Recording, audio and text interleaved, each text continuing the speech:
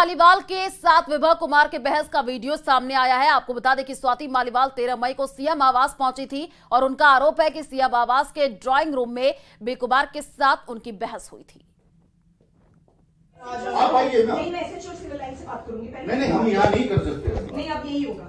यही होगा और जो करना है करो। और तुम्हारी भी नौकरी खाऊँगी अगर मेरे को टच करा तो। सभी तो कह रहे हैं हम हाँ, तो कह हम। रिक्वेस्ट कर रहे हैं।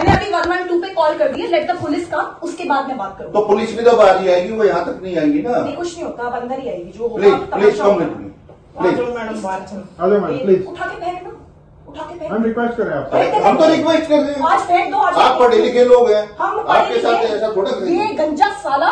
प्लीज़ लोग प्लीज़ आप ऐसे मैडम ना नहीं। आप ऐसे ना बोलें।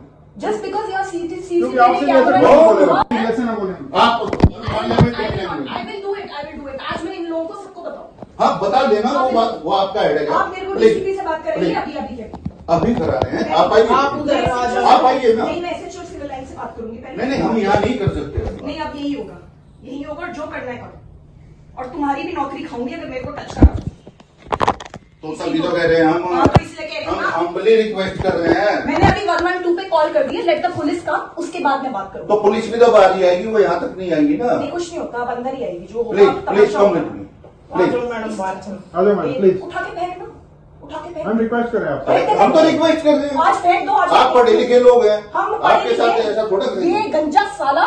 लोग प्लीज़ आप ऐसे ना मैडम बोलें नहीं आप ऐसे ना बोलें जस्ट बिकॉज़ यू आर सीटी क्योंकि आपसे जैसे कौन बोलेगा ऐसे ना बोलें आप I will do it I will do it आज मैं इन लोगों को सबको बताऊँ। हाँ बता देना वो बात वो आपका हेड है। आप मेरे को डीसीपी से बात करेंगे प्लीज़। अभी अभी के। अभी करा रहे हैं। आप आइए। आप उधर आ जाओ। आप आइए ना। नहीं नहीं हम यहाँ नहीं कर सकते नहीं अब यही होगा। यही होगा और जो करना है करो। और तुम्हारी भी नौकरी खाऊँगी अगर मेरे को टच करा तो। सभी तो कह रहे हैं हम हाँ, तो इसलिए कह रही हूँ हम। हम्बली रिक्वेस्ट कर रहे हैं। मैंने अभी वन वन टू पे कॉल कर दी है लेट द पुलिस का उसके बाद मैं बात करूँगी। तो पुलिस भी तो बाहर ही आएगी वो यहाँ तक नहीं आएगी ना। नहीं कुछ नहीं होता अब अंदर ही आएगी जो होगा प्लीज़ प्लीज़ कम मैडम बाहर चलो। आ मैडम, प्लीज़। उठा के फेंक ना। उठा के फेंक हम रिक्वेस्ट कर रहे हैं आपसे हम तो रिक्वेस्ट कर रहे हैं। आज फेंक दो आज आप पढ़े लिखे लोग हैं। हम आपके साथ ऐसा थोड़ा ये गंजा साला। प्लीज़ आप ऐसे मैडम नहीं। आप ऐसे ना बोलें। जस्ट बिकॉज़ यू आर सीटी क्योंकि आपसे जैसे कौन ऐसे ना बोलें। आप I will do it I will do it आज मैं इन लोगों को सबको बताऊँ। हाँ बता देना वो बात वो आपका हेड है। आप मेरे को डीसीपी से बात करेंगे प्लीज़। अभी अभी के। अभी करा रहे हैं। आप आइए। आप उधर आ जाओ। आप आइए ना नहीं मैं एसएचओ सिविल लाइन से बात करूँगी पहले नहीं नहीं हम यहाँ नहीं कर सकते नहीं अब यही होगा। यही होगा और जो करना है करो। और तुम्हारी भी नौकरी खाऊँगी अगर मेरे को टच करा तो। सभी तो कह रहे हैं हम हाँ, तो इसलिए कह रही हूँ हम। हम्बली रिक्वेस्ट कर रहे हैं। मैंने अभी वन वन टू पे कॉल कर दी है लेट द ऐसे ना बोलें। आप मानने में टेक लेंगे I will do it I will do it आज मैं इन लोगों को सबको बताऊँ। हाँ बता देना वो बात वो आपका हेड है। आप मेरे को डीसीपी से बात करेंगे। अभी अभी के अभी करा रहे हैं। आप आइए। आप उधर आप आइए ना। नहीं मैं एसएचओ सिविल लाइन से बात करूँगी ऐसे ना बोलें आप मानने में टेक लेंगे I will do it I will do it आज मैं इन लोगों को सबको हाँ बता देना वो बात वो आपका हेड है आप मेरे को डीसीपी से बात करेंगे। अभी अभी के अभी करा रहे हैं। आप आइए। आप उधर आ जाओ। आप आइए ना। नहीं मैं सिविल लाइन से बात करूँगी पहले। नहीं नहीं हम यहाँ नहीं कर सकते। नहीं अब यही होगा। यही होगा जो करना है करो। और तुम्हारी भी नौकरी खाऊँगी अगर मेरे को टच करा तो। सभी तो कह रहे हैं हम हाँ, तो इसलिए कह रहे हूँ। तो स्वाति मालीवाल केस में दर्ज एफआईआर की कॉपी सामने आई है। एफआईआर में कई बातों का ज़िक्र है। आपको बता दें कि एफआईआर के मुताबिक स्वाति मालीवाल ने पुलिस को बताया कि ये मेरी ज़िंदगी का सबसे मुश्किल वक्त है। सीएम हाउस के ड्राइंग रूम में विभव ने उन्हें सात से आठ थप्पड़ मारा, गालियाँ दी, लात घूसे मारे, उन्हें धमकी दी गई। स्वाति ने यह भी बताया कि उनके सिर और गर्दन पर कई बार मारा गया है। हमले के बाद से सिर और गर्दन में दर्द हो रहा है और उन्हें चलने में भी दिक्कत हो रही है। और इसी खबर पर ज़्यादा जानकारी के लिए संवाददाता शंकर आनंद हमारे साथ फ़ोन लाइन पर जुड़ चुके हैं। शंकर, जो हम तस्वीर दिखा रहे हैं, एफआईआर की कॉपी है, जिसमें कई तमाम बड़ी बातें कही गई हैं। फ़िलहाल अपडेट क्या इस पूरे मामले में? निश्चित तौर पे देखिए, जिस तरह से दिल्ली पुलिस की टीम इस मामले की तफ्तीश में जुटी है, और जिस तरह से स्वाति मालीवाल दर्ज एफआईआर है उस एफआईआर को अगर देखा जाए तो उसमें कई संगीन धाराओं के, के बारे में ज़िक्र किया गया है।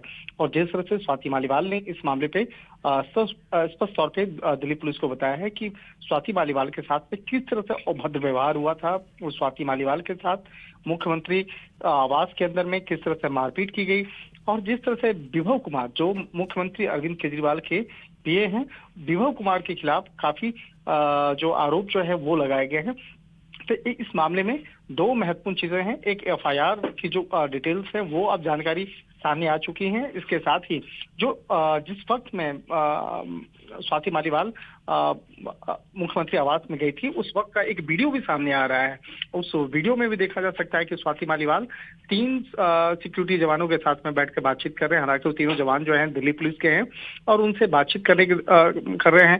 लेकिन जिस तरह से विभव कुमार की अगर बात करें तो विभव कुमार के खिलाफ जिस तरह से काफ़ी आ, संगीन आ, तो कहा जा सकता है कि विभव कुमार की मुश्किलें आने वाले वक्त में बढ़ सकती हैं। हालाँकि दिल्ली पुलिस की टीम अभी थोड़ी देर पहले विभव कुमार के आवास पर भी गई थी लेकिन वहाँ पर विभव कुमार मौजूद नहीं थे। इसके साथ ही कहा जा सकता है कि इस मामले में आगे की पूछताछ की प्रक्रिया को पूरा करने के लिए विभव कुमार को तलाशा जा रहा है, लेकिन अभी तक विभव कुमार दिल्ली पुलिस के सामने हाजिर नहीं हुए हैं। तो वहीं देखा जाए तो इस मामले में स्वाति मालीवाल के द्वारा वन सिक्सटी फोर का जो बयान है, जो मजिस्ट्रेट के सामने होता है तो वो तीस हजारी कोर्ट में दर्ज कराया गया है। तो एक तरह से कह सकते हैं कि इस मामले में देखा जाए, जिस तरह से स्वाति मालीवाल ने आरोप लगाया कि विभव कुमार के द्वारा उसके साथ में मारपीट की गई धक्का मुक्की की गई और गाली गलोच किया गया। और इसके साथ साथ जिस तरह से स्वाति पालीवाल ने इस बात का भी ज़िक्र की है कि वो जिस तरह से महिलाओं से जुड़ा हुआ मसला छोटे छोटे बच्चों से जुड़ा मसला वो अक्सर उठाती रही हैं, लेकिन जिस तरह से उनके साथ में मारपीट के मामले को अंजाम दिया गया है तो अपने आप में काफ़ी ये संगीन मामला है और इस मामले की गंभीरता को देखते हुए दिल्ली पुलिस के द्वारा अब विभव कुमार को तलाशा जा रहा है और विभव कुमार के आवास पर दो बार पुलिस की टीम जा चुकी है, लेकिन एक बार भी विभव कुमार सामने हाजिर नहीं हुए हैं।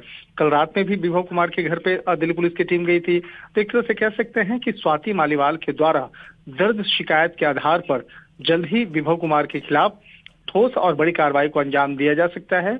और इस मामले में नॉर्थ नॉर्थ दिल्ली के जो सिविल लाइन थाना पुलिस जो है, इस मामले की तफ्तीश में जुटी है। और कहा जा सकता है कि इस मामले में जल्द ही हो सकता है कि ज़रूरत पड़ने पर इस मामले में पूछताछ की प्रक्रिया को अंजाम देने के बाद विभव कुमार को गिरफ़्तार भी किया जा सकता है। बिल्कुल, शंकर। और इस पूरे मामले में राजनीति भी तेज होती हुई नज़र आ रही है। आरोप प्रत्यारोप का